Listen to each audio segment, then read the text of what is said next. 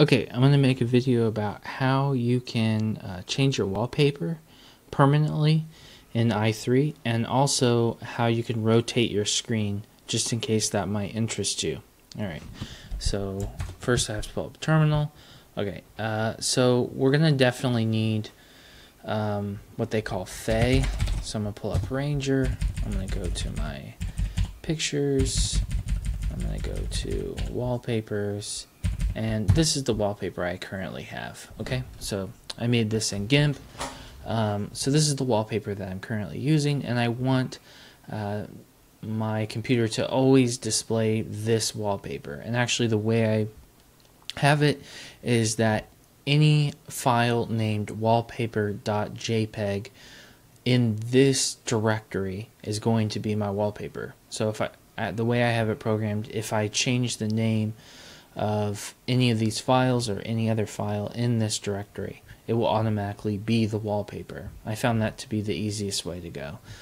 Um, so here's the program you might be able to slightly tell. F FEH is Fay, that's the program you're going to need. Um, so most likely what you've already done is you've already found online that you're supposed to download that program and then you can right click then you can go to background and then you can either set tiled scaled centered or fill, uh, filled. I'll go ahead and do that. It's not going to do anything. That's what I already have. Um, and so it will um, already be now it is part of your or now it is your wallpaper. However, when you restart your computer, it's going to go away and you're going to get whatever the default was. My default is black, um, maybe yours is gray. So um, you would have to do this process all over again, and that can be annoying. Um, so here's how I do it. So again, um, the way I'm going to do it is any file named wallpaper.jpg is going to be my wallpaper. Okay, so if it's I like this particular directory, I'm going to use that file. All right, so let's get rid of these. Um, and get rid of that. Okay, so I'll print up terminal again. And um, this, well, I guess I should say that you should check out the manual for Fay. Um, and it has everything you could possibly want to know about the program. Um, but it also has examples of how you can set um, in the terminal, how you can do all this in the terminal. I think it's coming up in just a second. Where is it? Do, do, do, okay, so here it's telling you you can do um, dash dash big center dash dash big max. I, um, at least for this one particular picture, I like fill. I usually like fill, so you can use um, dash dash big fill.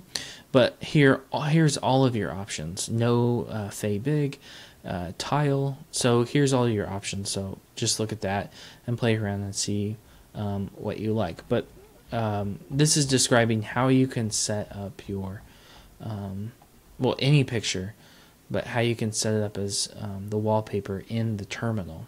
Okay, so that's how you're going to find that information in case you want to use different um, attributes that I have. But here's how I do it. So I'm going to go super user, I'm going to put in my secret password, and then um, I cheated and I already have exactly what I need.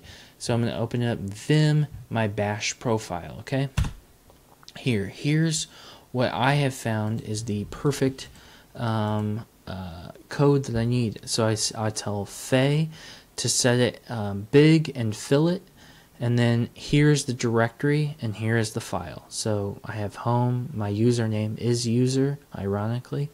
Um, pictures, wallpapers, wallpaper.jpg.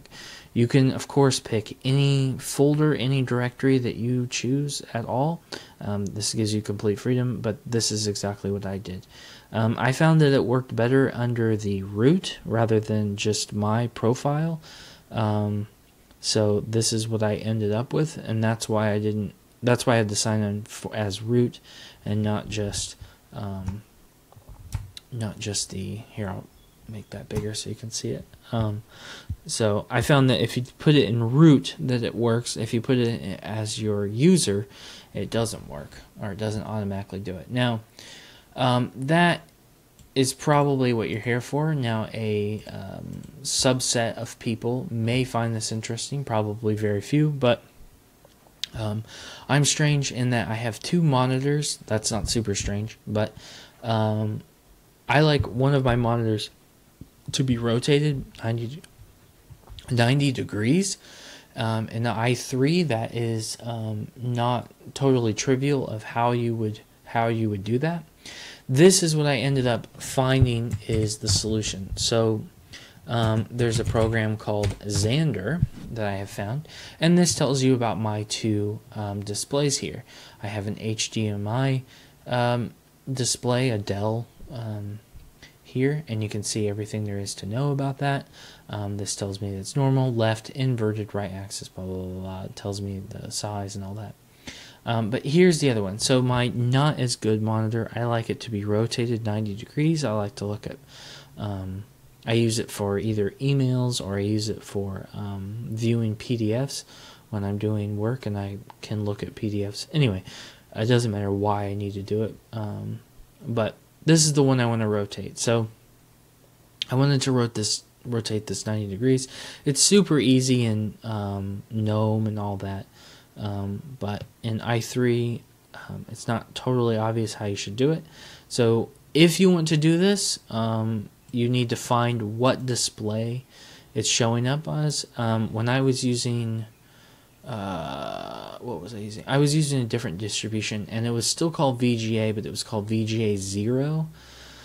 So you need to do this on your current system because uh, this can change. It'll still be VGA, that's the chord, but um, it can change which which one it calls it, and it was called VGA zero, but now it's called VGA one. So you need to figure out what um, what exactly um, would be beneficial to you. Let's go back now that we know what I'm talking about, sort of. Um, so I'm telling Xander output VGA one. I want you to rotate it left and that gives me that 90 degrees angles that I want and just right on login it flips it for me so it's, if as long as it's under root as long as it's under the root bash profile it will automatically um, rotate that for me that may not help you in any way um, but you now know that it's out there and um, you at least have the freedom to do anything um, that you might want to do. Um, it has, of course, uh, many, many options, but um,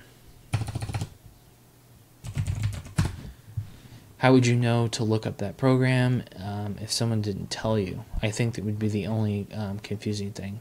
So here's all the um, all the different options, and I just had to play with these and and read the manual until I figured out my exact thing that I wanted. It does have reflect, reflection.